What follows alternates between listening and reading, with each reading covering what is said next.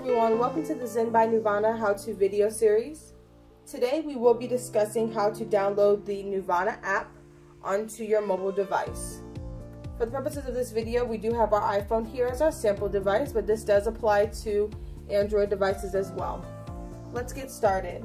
First, we are going to go to the Apple Store, the App Store on your iPhone or the Google Play Store on your Android. And you're going to tap the search bar and you're going to type in Neuvana, N-E-U-V-A-N-A.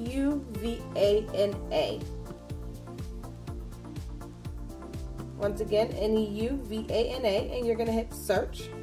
And as you see here, the Neuvana app does pop up. So you're going to select Get to download it or install, whichever one you're prompted by. It does take a few minutes to install, and then it should say open and you open up on your phone.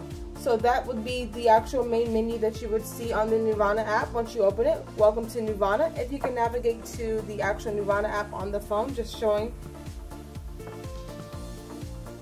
There you go. So that's what it should look like on your device. Thank you so much for watching, guys.